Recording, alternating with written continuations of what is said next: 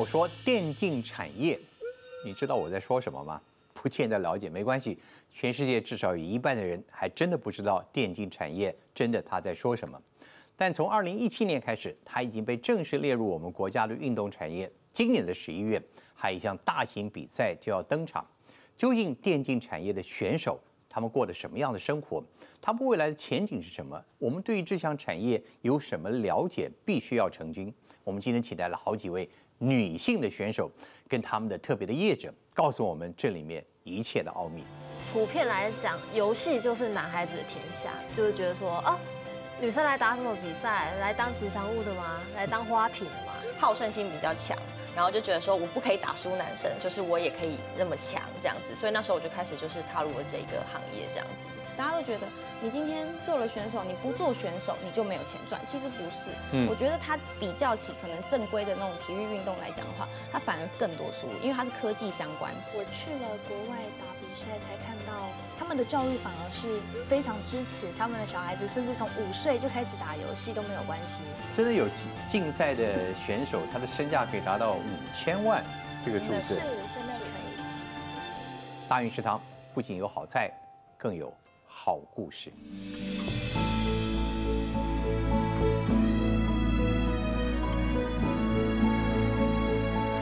欢迎各位来我们今天这个地方啊，稍微做了一个改观。各位看到今天我们的似乎大运食堂暂时好像变成了大运网咖了啊。那今天特别欢迎到一位，这位是在电竞产业里面特殊的名词，他叫直播主。你看到他头戴的耳机，而他的键盘呢，也是跟以往我们看到不一样，闪闪发亮，五颜六色在他身上，象征着这个产业是充满了新鲜，充满了完全不同的风味。当然，啊、也告诉我们这个行业其实正在是明天产业的明日之星。因此，我们今天请到了不仅是这位直播主，很年轻的典威，还有另外三位也同样年轻，也是电动产业的女性来到我们节目。我们灯可以亮起来了，让大家看一看这个产业的啊、我们真实的女性脸孔，请他们思维耳机可以拿掉了。好，呃，只告诉我一件，典威你是直播主，对不对？对为什么这些行业你你要把自己做这么多特别的色彩的装饰？哦，因为其实这个非常的酷炫。对对，简单来讲是非常酷炫。那其实我们本身在玩游戏的时候，因为平常的电脑文书是比较偏向于容易在做文书上的所以这个键盘是不一样的。对他们两，诶，其实所有电竞设备都是完全不一样的，嗯，一定会叫电竞相关，就是代表它一定有一些地方特别。我敢打赌，你应该还有别的设备也可以发光穿在你身上的。对，可能滑鼠也有，然后主机其实也可以放。全身的头盔服饰，你做个袍子，全部都是打上那个 LED 灯光一样，可以对对不，对？就好像关了灯就会看到一个人在跳舞这样。这些东西真的对你进行工作有帮助吗？那个气氛的塑造，嗯，其实有，因为有些时候我们玩游戏的时候会影响到我们自己的心情，因为游戏打的时候你就想要放松嘛。嗯。那如果你有一些漂亮的东西或是亮亮的东西，其实你自己心情会很好，然后放松的之余，你还可以就是打得很强，因为键盘一定有一些比较厉害的地方。电竞，我敢讲，包括我在内，全世界有一半年以上还是不太懂这是什么什么什么。所以，我们今天请到了有选手哦，两位的年轻的选手，也有我们推动这个电竞产业的我们的秘书长来到我们节目，不同的阶层。我先问一下，呃，你们中间谁的功力最好？不要谦虚。应该是尼亚吧？他啊他他呃，艾欧尼亚伺服器大师，大概是百分之前零点。那我先从他开始。好好，你好到什么程度？嗯，就是可以跟男生是相较的，跟男生？对，就是男生的玩家选手你意思说是这个行业当中有男男女差别吗？是有的。为为什么会这样？我我以为这个，比如说我我们做任何的比赛来讲，现在不不是讲讲究是两性的平等吗？难道电竞产业不一不是如此？对，就是女生普遍都是比较，嗯、给男性玩家都是会不尊重，以及会认为说你可能就是娇气，就是打游戏也打不好，嗯，这类型的刻板印象。那那你你也是你也是属于那种被被男性排斥的吗？当初是这样子，没错，就是大家会觉得我们是吉祥物，就是女生出来打比赛，就是觉得说，哦，女生来打什么比赛？来当吉祥物的吗？来当花瓶的吗？这样子。所以这个这个产业原先开始，我我我们早可以讲从电玩时代开始吧。那个以前那个字眼叫电玩嘛，现在就是电子竞技的正式产产业的这个名称。所以本来就是一个男孩子的天下。嗯，应该说普遍来讲，游戏就是男孩子的天下，就是大家都觉得说男生就是很爱玩游戏啊，女生怎么会玩游戏？所以我们今天最有兴趣的请。到各位，那你们怎么跑到男孩子这个原地里来的？你你打打这个是我自己本身是玩家我大概前百分之零呃百分之一，没有他那么强。百分之一意味着是在百分之九十九的选手或者玩家功力不如你。对，是玩家。可是如果你要成为顶尖选手的话，你大概要成为百分之。你是怎么？开始的？我就其实是因为我弟弟的关系啦，就是一开始的时候我是跟他一起玩游戏，然后我就发现到说，因为我自己本身好胜心比较强，然后就觉得说我不可以打输男生，所以那时候我就说，哎，你在玩这个游戏，我们两个一起玩。所以那时候我就开始。变成开始跟他一起玩游戏这样子，结果后来我发现到说，因为男生对女生其实会有一些歧视，我认为那是一个文化上的一个呃关系，所以我收到这些歧视的言语言论之后，我就想说，哎，我想要证明一样，我可以跟你们一样，就是我也可以那么强这样子，所以那时候我就开始就是踏入了这个行业这样子。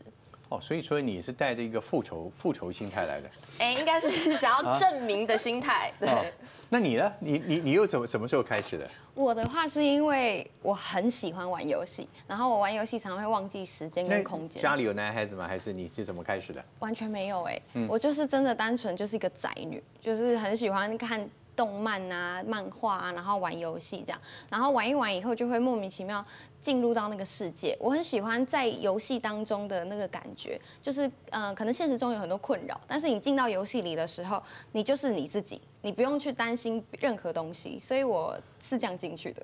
对我来讲，我已经忘了那个年代什么样子。我相信我也曾经有过啊，在年轻人。所以，那你有开始发觉，当一旦开始游戏，人家知道你是个女孩子的话，也对你有有不尊重的这种这种批评吗？嗯，其实我觉得可能就是要看大家的那个位置，因为可能像尼亚或者是那个秘书长，他们都是比较偏向于很厉害型，在大大多的感官下，会觉得你如果是选手，如果你是很厉害的女生，你应该要很厉害，你不应该技术面要弱。可是因为我本身是玩开心的，是走实况和直播这一块，就是当主播的，所以我打的开心，打的好玩，讲话好笑，别人就觉得很好了，并不会去刁钻说，哎，你今天怎么没打好？你今天怎么一下就死了？对，不会刁钻这个。所以你们两个都是家里面从开始的。呃，对，家里面。那欧安你呢？你是怎么开始的？嗯，其实是很从很小的时候就开始在打比赛，嗯嗯，就国小的时候打射击类的比赛，然后长大后打了，可能我现在玩的游戏《英雄联盟》，刚好有一个机会，然后就去测试，然后就刚好又进入了这个圈子。那时候有跟也也是受到什么男孩子的影响，或者要跟男孩子的竞赛的心态的其实影响吗那？时候还不知道有女子选手这东西的时候，心里面都会有一种很想打败男生的情节，一直幻想在我脑中，然后我就很想，我就很想要一直站在这个游戏的最高顶尖的地方。所以你们四个都是不服输的女孩子。对，没错。我们是复仇者联盟，对，妇 女的妇，你你们你们你们成长的那时候，其实大家还是电动玩具的那时候吧？对现在开始这样，所以你们家长对你们自己喜欢打这个，一定有些不同的意见吧？去打过一百美金的比赛，嗯对我敢说我是台湾前十名吧。他说一百美金，嗯。一百，他少万这个字，对，是一百万美没有发钱，我没有发钱。哦，那其实其实是一百万的意思。对，一百万。所以我觉得我100美。我看到一个数字说，真的有竞竞赛的选手，他的身价可以达到五千万。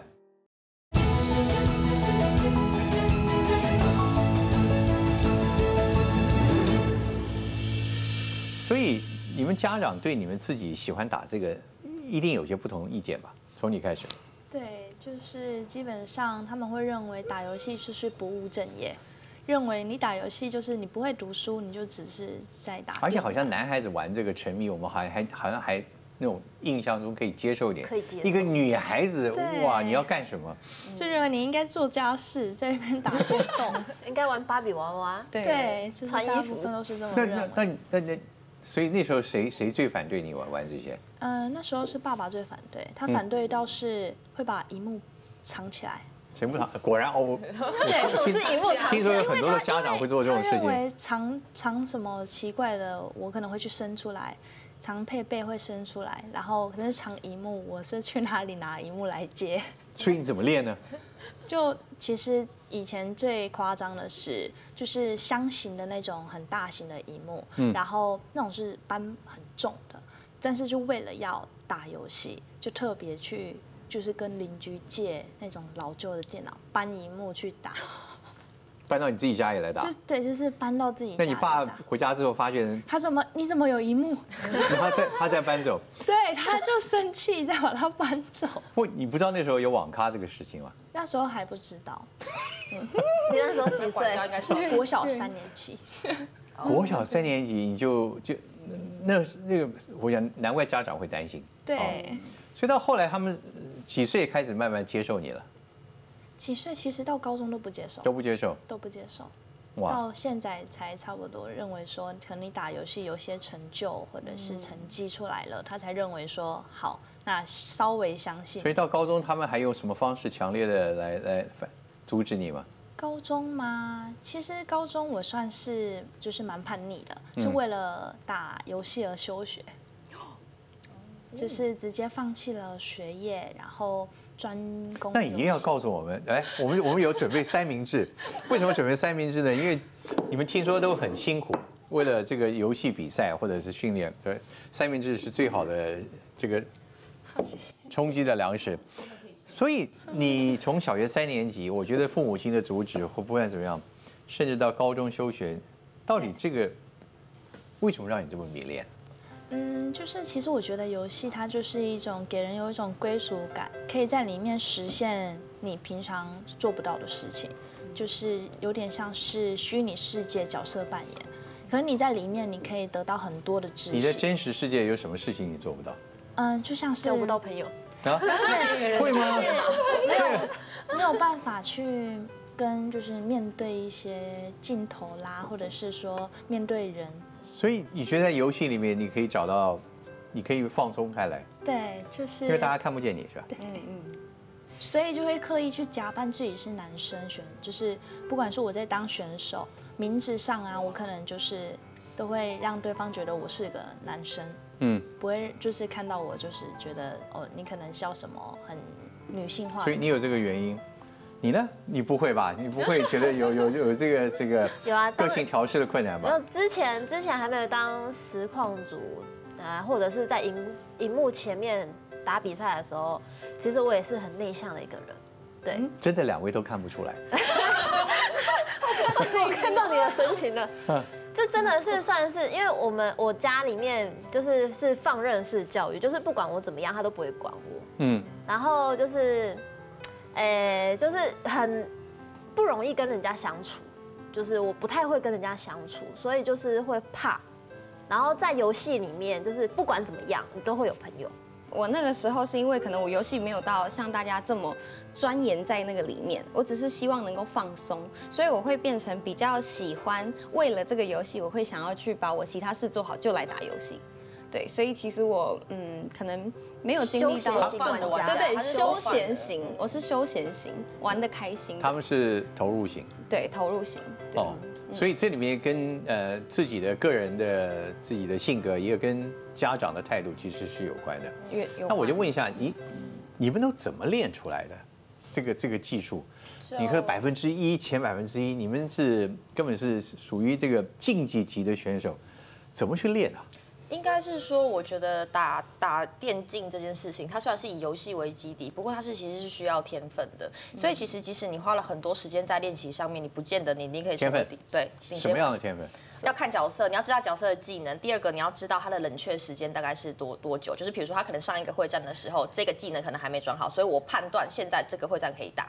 他所以他记得其实是细节有非常的多，包含因为每个角色大概可能会有呃五个技能 Q W，哎，所以你要去判断那个游戏的那个后面那个人，对对他的想法，他现在是不是想要打这个会战？那你是要你你们要懂心理学了。其实这应该是说有有两个知识，就是可以直接称呼这个，就是预判。预判。对预判，就是你要学会预判，但不是每一个人都可以的。你你你觉得你有这个天赋吗？嗯，这部分是有的。那你能够预判我下一个问题要问什么吗？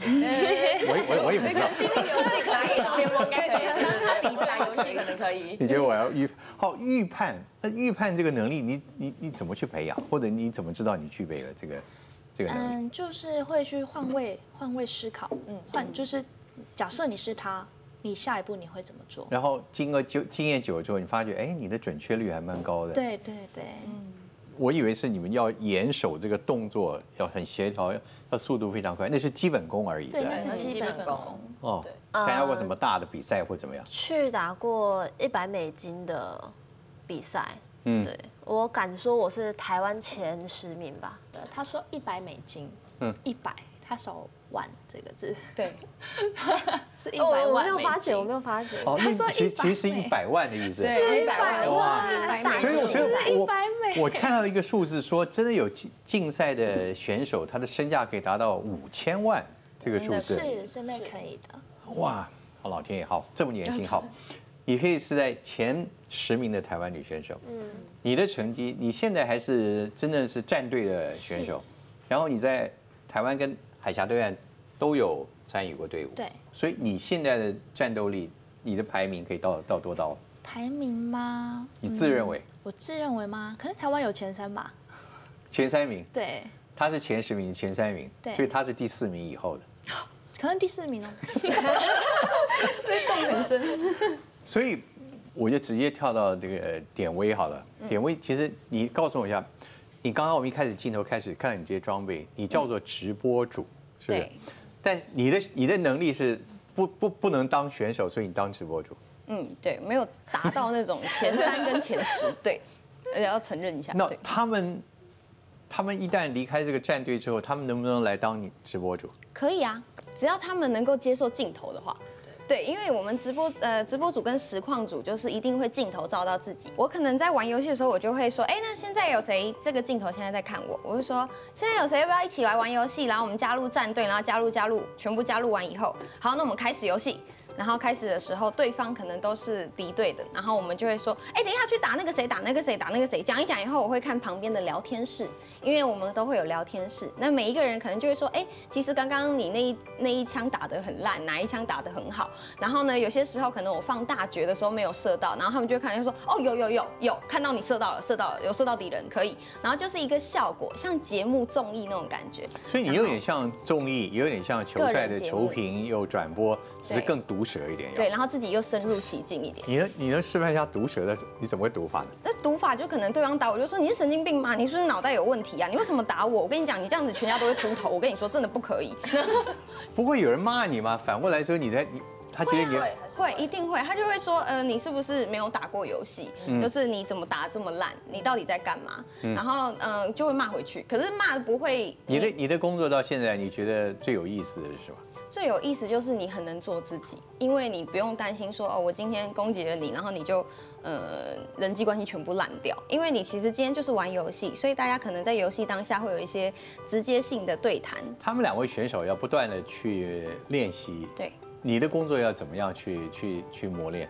我的工作其实是把呃休闲跟磨练结合在一起，就是我在玩的时候，我当然相对的舒压嘛，但是我因为不断在做同样的游戏练习，所以我可能这一这一这一场我可能死得很快，但是我知道我为什么死，所以我下一场的时候我可能就会改进，然后可能观众也会跟你说，哎，你刚刚那一段你可能怎么走比较不容易死，所以其实我也是在过程中精进。所以观众看的是就是你的你的口白是不是很妙？对讲的是不是？很好笑你有。没有底线？有，我底线是不宗教、不政治、不情色。呃，每一个人都有自己的底线了，对，就是自己能够接受的程度。那我自己个人是比较不接受这一些那。我现在就要聊秘书长，秘书长，其实你的工作很多是，也就让大家了解。我们知道这个电子竞技已经变成国家的正式运动产业，但是如何讲，很多人真的是模模糊糊。我看到有选手，也看到有直播主，所以这个这个比赛，它不仅是比，它还要看。对，所以到底是是我这个电子竞技的一场比赛是怎么个进行法？假如说我今天女队跟男队一起打，一坐下来，男队就会说：“哎呦，怎么是女队伍啊？”然后就是有那种很骚扰性的语言，就说：“要不要加个好友啊？哥哥带你玩这样子。”然后那有一次比赛，就是我们女队赢了，然后男方就很生气，砸键盘，要求重赛。所以这些大男人反而在游戏世界中最明显。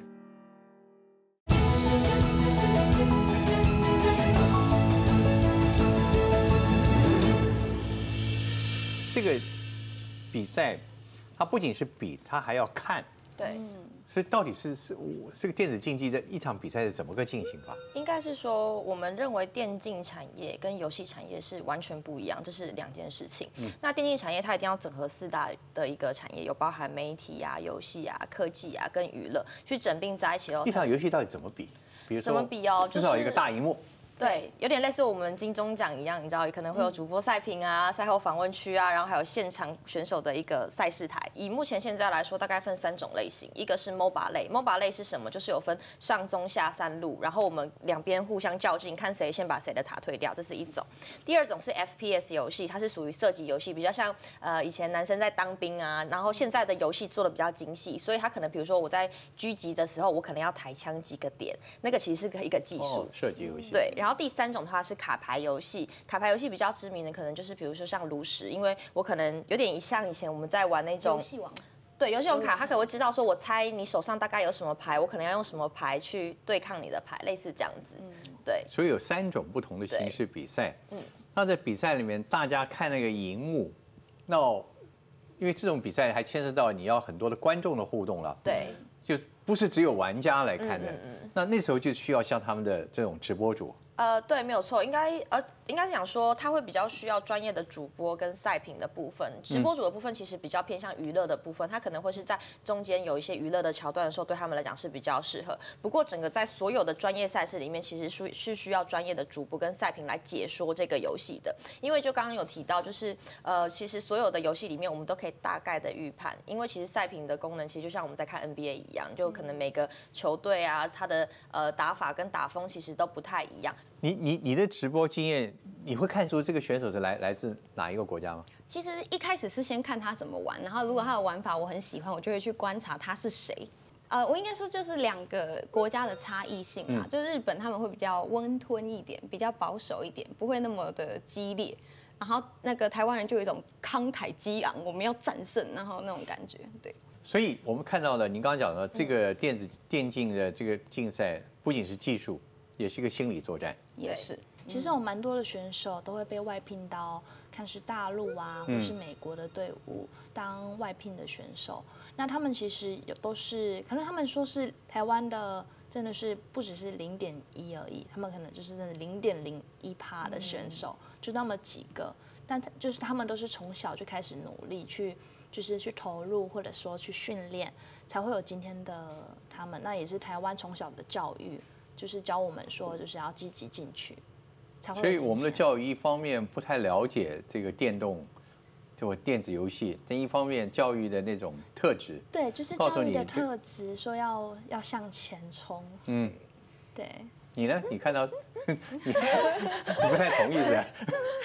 没有，因为我觉得这个好像不太适合我讲，但是我只知道台湾的那个世界冠军是蛮多的。嗯，对，台湾很多比赛都有拿到世界。我就想知道原因啊，为什么我们这么多家长是在阻止或者不认同的情况之下，我们的选手反而有很好的表现？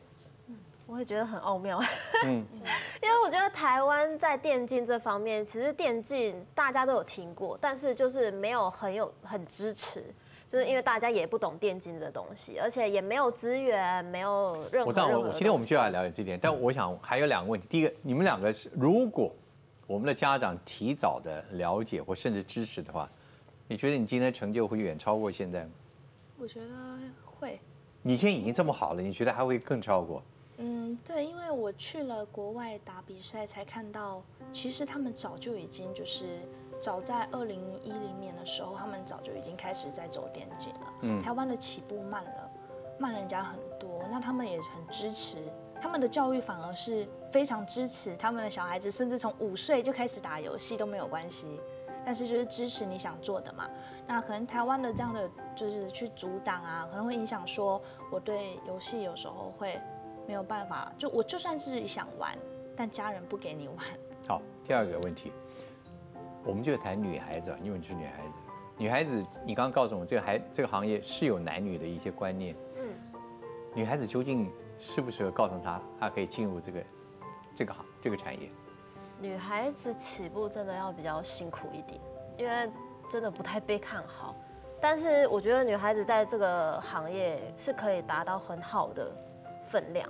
说一说你们的干股好不好？至少来给我们一点，当然鼓励你也告诉她一些真相嘛。就可能说打比赛的时候，对方假如说我今天女队跟男队一起打，一坐下来，男队就会说：“哎呦，怎么是女队伍啊？啊，来干嘛的？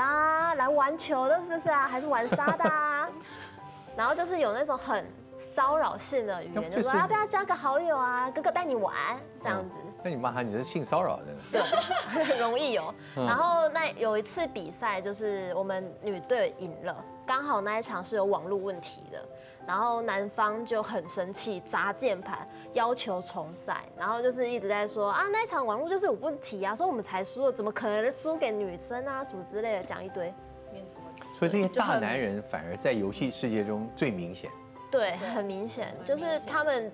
不甘愿输给女生，所以应该要更多的你们加入之后，才能把这些大男人的气焰给他降下来。对啊，但是其实玩游戏九成几乎都男生。嗯，我们就是为了女士女生而出头，我们就是复仇者联盟。就是我们在任何领域都一定想要顶尖的那种心态。现在台湾，你们觉得最最不能理解的、最应该厘清的一个什么样的概念？关于这个电竞行业，就刚刚我提到，就是它不等于游戏产业这件事情是非常重要的。这什么意思？其实我们也听了遍，我知道不等于啊，但是所谓不等于，你的后面的一句话是什么意思？你后面要接什么？呃，比如说，应该讲说，我们认为所谓的电竞。的游戏，它能够被称之为电竞，里面是一定要包含竞技的元素在里面的。所以如果平常像我们以前玩那个什么小精灵啊，或者什么那那个是不不属于电竞类的。那为什么刚好提到有三种游戏有包含 mobile FPS 跟卡牌？原因是因为它里面是含有竞技的元素，就是呃举例来想，像军事的部分，男生就很明显知道说，哦，我今天如果是呃战争游戏的话，它其实就有含竞技类的元素在里面。这件事情是非常的重要的。那我们认为说，电竞这件事情，如果它未来它没有办法去整合其他产业的时候，它其实是很容易会死掉的很快。原因是因为电竞产业这件事情，它必须要靠各个产业去集合的力量之后，才能够蓬勃发展。所以像我们自己协会本身的话，其实我们的组成有包含金融业，然后有包含呃娱乐产业的部分，然后还有包含影视业。我们先不谈企业界，我们谈观念好了哈。嗯我觉得像你们的成长就是最简单嘛。家长觉得孩子从小他就在这个里面，他就必然会影响到他的学业、身心健康、交往、人际关系，我怕罪名一堆了。对的正常发展，你们你们怎么回答这个问题？呃，如果是这样的话，我觉得可以设立一个，比如说假设这个是电竞老师，他变成一个正规的教育课程，对教育课程，然后呃教你打游戏，但是不沉迷，就他也变成可能国语、数学、英语其中一个项目。它变成一个正式的东西，它就不会变成偏颇。但是可能游戏的这个科目出来，大家可能成绩。所以现在就是沉迷上瘾，电玩被附上了一个罪名在上面。对，是因为这个原因。嗯，如果它都同等质量的话，我觉得并不会造成这样的影响。电竞选手的大概到几岁是高峰期就过了？平均大概二十三到二十五，很短。啊不，还算老。二十三、二十五退役哦，大概是十六岁的时候最早开始。我我猜你们都过了十六吧？对对对对对。所以这个游戏，他在很年轻的时候，可能就你差不多就要丢下战袍了。嗯，对。那那这个依赖感怎么办？将来？嗯，就是将来变成是你是走后勤，去支持那些小孩子，去辅助。万一你没有那个机会，你还没有别的专长？跟跟周杰伦打过游戏算吗？哎，有跟周杰伦打过啊。因为那时候那时候他刚玩游戏的时候只会一只角色，对。然后他的 ID 其实挺明显的，对。对。然后刚好约出约进去一起玩，嗯。然后就是打完才发现，哎，这是周杰伦吗？这是周杰伦吗？我跟周杰伦玩游戏吗？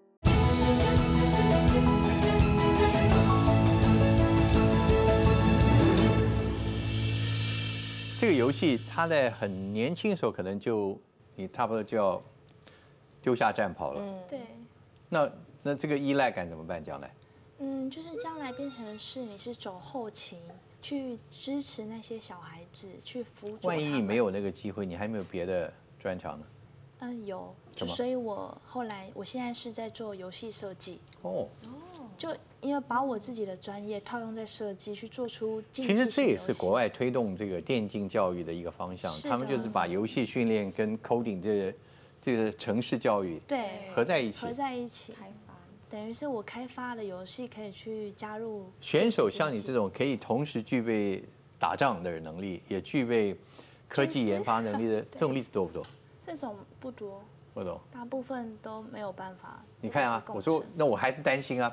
你呢？你你家长还是你现在比如说你已经离开战斗队伍了，我觉得选手退掉之后，很多路可以走，真的就是很多什么可能很多路啦。就是选手退下来之后，因为你对游游戏上的理解跟那个整个规模跟电竞圈的熟悉度，可以做很多事情。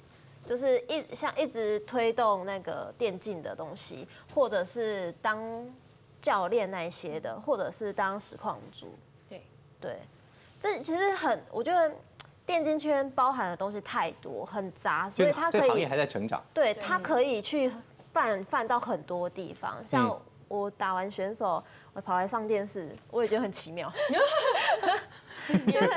嗯就可能对对对，选手我选手我我觉得如果十年。前的大概真的是，嗯我我们的话题根本都不会出现。对啊，好，那到底现在一个年轻人在你们这行业，他可以赚到多少钱？嗯，好难讲啊。对，因为 每个人的收入是不同，的。我讲 Twitch 现在目前第一名的实况组好像 Ninja，他一个月大概是一百万美金，哇！另价，对他大概一个月是一百万美金。那比如说台湾的一个，我们就是呃这个行业里面也不要算顶尖的，他维持他自己的一个还不错的生活，没有问对，题。可以是绝对没有问题的。但是好，那我就要问这些选手，现在一旦他们退下来，他们的后路有人帮他们安排吗？现在你们的规模产业到了那么到那个地步了吗？队伍应该都都是战队辅导居多，所以其实我们协会目前来说的话，也是针对就是大概呃高中生到大学这段的年纪的部分，来针对他们第一个喜欢打游戏之外，第二个他是不是有可以其他专长，比如说他可能未来可以当 OB 手啊，或是导播啊、主播啊、赛评的部分，因为不是每个人都可以当选手。如果假设他是没有天分的，他应该要尽早认清这个事实，你可以当从业人员。严肃。对，所以其实我们这最近也是很长的密切在跟学校就是谈就是相关科系的一个部分，因为坦白说，老师有些可能是可能像我们以前过去的影视专业，可是他不会打游戏，他就会面临到说，哎，我我不知道怎么教他们。可是老师是本来就有具备影视过去的专业，哦，我们知道讯号怎么串接啊，OB 啊。你觉得将来我们学校有开放这个课程的一天会来到？有？因为已经有老师邀请我下学期去开课了。哦，他们 想教，所以显然后面已经有家长态度已经已经开有开始始转变。他希望说，哎、我的小孩子除了做这件事情之外，还可以做什么其他？因为很多家长认为他们担心的是什么？选手这件事。选手如果他他真的没有天赋当选手，那他怎么办？他会不会以后的人生就没有了？所以其实如果你给他更多的配套措施的时候，或是更多的选项的时候，其实我觉得家长的态度是比较呃正向跟放心的。你刚刚说你的家里的态度现在已经变了，对，现在变了。是因为你出名了，还是你发觉这个行业跟他们想象的不一样？就是只要我要比赛，他们会关注，会变成拿着手机开始看直播，对，加油，没没没没没有直接的一个场地让他们让他们去看你。因为都在国外。国外那在台湾的话是有的，那他现在也还还会不会有这种困难？跟他的亲朋好友解释你的工作还是很困难。对，是，可是其实他们要开口也蛮难的，嗯就是会说，假设说，嗯、你今天你小孩在做什么？嗯，电竞选手，我妈就是 你说我妈都说，我妈都说我都去那个打比赛、打游戏打到出国比赛。对，就是大哦大多都是这样子去说的，就可能让别人就会很 shock 说打游戏，打游戏赚钱就是都这个观念在改变。你们你们发觉还有什么误会？你觉得这个社会现在还在模模糊糊当中，有没有？我觉得没有出路这件事情有一点误会，因嗯为其实它跟球类运动是有点类似的，就像很多球业职业选手，他们退下来会变教呃教练，可是他可能就除了教练以外，就是教书或者其他就没了，可能还要去培养二技或是各个其他技能。可是我觉得电竞选手除了你对游戏产业了解，可以做设计，可以做开发，后面可以做像秘书长这样的工作，甚至也可以你去直接自己组一个战队都可以。那甚至我觉得这个开放性、南瓜性比较广，所以我觉得他的出路这个是被误会的。大家都觉得你今天做了选手，你不做选手你就没有钱赚，其实不是。我觉得他比较起可能正规的那种体育运动来讲的话，它反而更多出路，因为它是科技相关，所以其实科技一囊瓜在一起的话，它其实出路很多，你还可以写成是、啊。所以你们赞成是越早开始让孩子能够来接触，正确的接触。因为然后有正确的教育管道。对，因为其实韩国政府在九八年的时候就开始投入在做这件事，我们政府大概是这近一两年才开始重视这件事情。那他如果没有经过一，因为就是我刚刚有提到说他跟天分有很大的关系，如果他真的没有天分的话，应该就是要让他可能好好的念书，或者是说他要去从事他本来应该既有的专业的部分。那如果假设有天分的选手，我们应该要导入一些相关的资源，怎么样来协助他？辅佐他可以真的成为全世界顶尖的选手。那以目前现在台湾的选手来说的话，天分跟资质相较于其他国家来说，我们应该是世界排名前三。对啊，我相信这个台湾的年轻人，这个这方面真真是蛮厉害的哈。。对，所以你们自己能不能告诉我们一些呃，你们这个行业当中到现在在你们身上发生最好玩或最快乐的事情，也许可以让更多的人对这个行业保持一个开放的态度。就可能真的是很多不同领域的都会认识的。你有没有碰过你猜想到他可能是社会上地位很高的人，他在跟你玩游戏？哦，你虽然不能确定，但你猜他可能是一个郭台铭之类的，玩一玩结果我不知道，我不知道哎。。跟跟周杰伦打过游戏算吗？哎，有你跟周杰伦伦打过对啊，游戏周杰伦。会不会给你带来体力、身体上、生理上的后遗症？其实我四年来就是都一直都是在打比赛这些类型，然后我因为在大陆那边训练，可能是因为食物以及空气的关系，就是可能就不习惯，我的肺部就长了一个肿瘤，然后就导致我要切除右下的肺叶。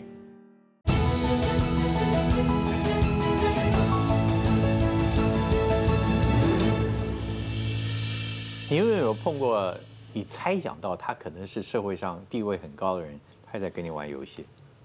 哦，你虽然不能确定，但你猜他可能是一个郭台铭之类的，玩一玩结果啊我不知道，我不知道 哎。跟跟周杰伦打过游戏算吗？哎，有你跟周杰跟周杰伦伦打过游戏周杰伦一样啊。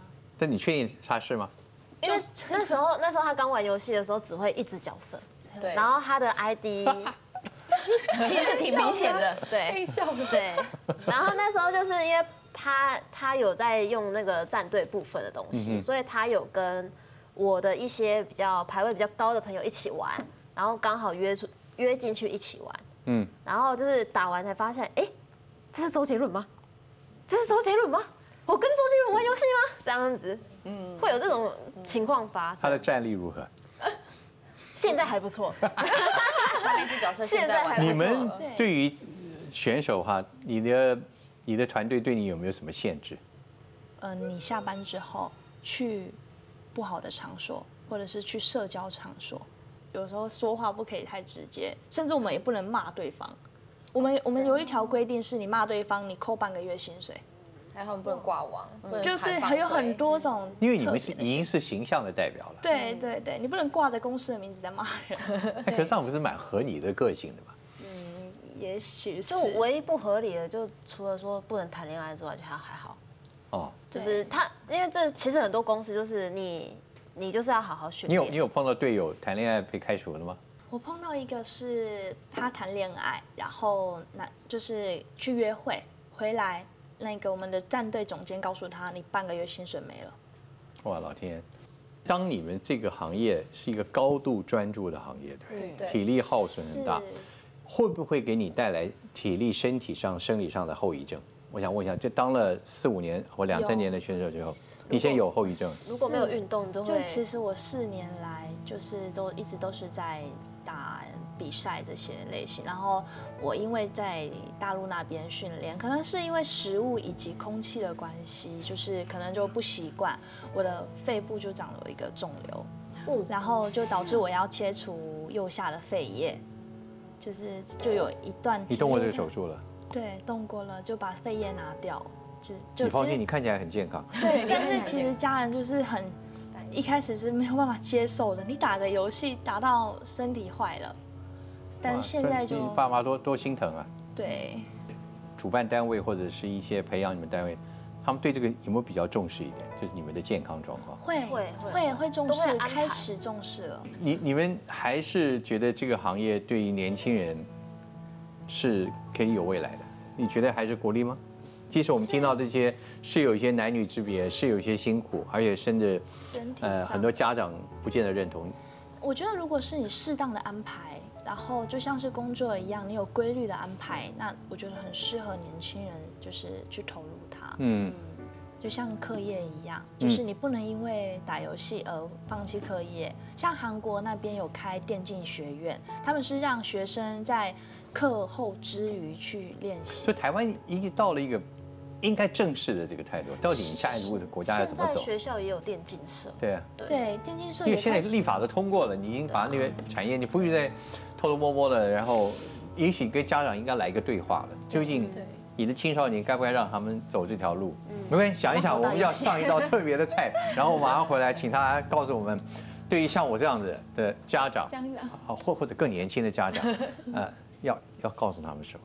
好，今天我们上来的一道什么样的特餐给我们所有的电竞好手们呢？哇，谢谢我们的厨师，很辛苦。哇，哇，你不必鼓掌，这也没有那么名贵啊。四碗泡面，真的是经常吃泡面吗？因为其实泡面是最最简单，就是很最方便的，这是最方便的东西。对。你试一下，我来转播你吃泡面。好好好他现在正在，我我这样我还真不会。所以这个，你你现在私底下哦没关系。你会不会把你的讲话带到你的真实生活里面？讲话也变得很直。嗯，会那你会影响你交朋友？不会？他们会觉得你反而变得很真实，真的不会骂人，经常挂在嘴上真。性情啊，对，他会觉得你很真性情。你怎么会就是？可能以前你会担心人际关系，对然后后来在游戏里面，你习惯发现，哎，其实不是这么真的一定要这么。是不是很多？男孩子其实蛮欢迎你的？嗯，如果要说现实面，的确是因为男生会觉得哇，可以跟女生玩游戏耶，然后还可以保护她，因为男生会有那个英雄的那种感觉，就是不行，我就是要保护你。没有结婚吧？呃，没有，我很年轻。你将来的这个对象 要不要也是一个很喜欢游戏的，还是我我觉得他可以对游戏有兴趣跟了解，因为我觉得如果他完全不理解我的话，我们对小孩的教育会有影响。但你也不期待一个一个电竞的选手跟你在一起，嗯，我不期待，不必那么高干的。对，因为到时候他跟我说你那个不能吃，那个怎样怎样，然后一定要怎样几点起床，要什么什么选手的生活，我没办法。这就是他们过的。对对对，我不行。对于像我们这种广大的这些非玩家人，你你们希望怎么样去更多的跟他们接触？啊、其实就是刚刚提到，大部分都是在云端上面的发生，就是因为要提供这些非玩家，他们能够更了解什么叫做电竞产业，所以其实我们在这个部分十一月份的时候，其实我们跟三创是进行全面性的合作，会举办一整个月份的电竞月的一个活动，然后让所有的大众可以到场馆来体验感受你们特。别欢迎家长来，有，我们非常欢迎，现场也会有很多的一些 呃赛事啊，然后表演，然后也会有其他的就是可能实况组来现场做一些相至关的解少让他们稍稍放心一点。我觉得爸爸妈妈跟自己小孩如果一起玩游戏，还蛮精彩的。对，啊然后结果爸爸妈妈输给自己的小孩，对，还会问你怎么玩。对对对对，对他就想要探究，就跟赖有点像，因为我爸爸妈妈原本不知道赖是什么东西，然后后来知道了智慧型手机会用赖以后，他还会问你怎么使用，就是他们可能还会用的。我相信现在的父母亲的进化速度快一点了，对对对，而且传播的快速会让他们观念改变一下。但是我相信还是很多人不知道也不了解，对对，但时间嘛，嗯，还要靠你们呢，没错。对，fighting fighting fighting，谢谢你们。谢谢。好，我们招待不周，只有泡面跟这个这个，这超棒。所以这这几天最近没有比赛，最近算是女子赛的话，算胸季，就是胸每每一季都是会有比赛结束后会有一个这样的休息，几场？